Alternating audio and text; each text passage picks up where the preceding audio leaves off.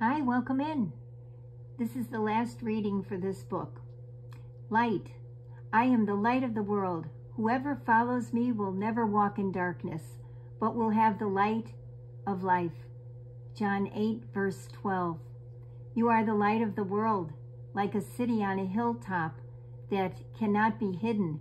No one lights a lamp and then puts it under a basket. Instead, a lamp is placed on a stand where it gives light to everyone in the house. In the same way, let your good deeds shine out for all to see, so that everyone will praise your heavenly Father. Matthew 5, verses 14 to 16. At one time you were in the dark, but now you are in the light because of what the Lord has done. Live like children of the light.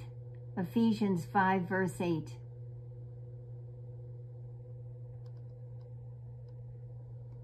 For Mommy, dear Jesus, you have brought me out of darkness.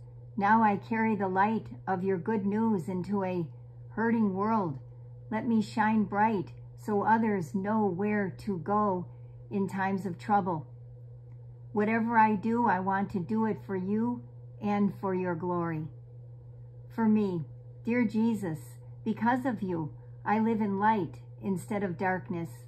I don't want my friends to be in the dark so I should let them see my light. Help me to be confident in sharing the good news with them. How can you be a brighter light for Jesus?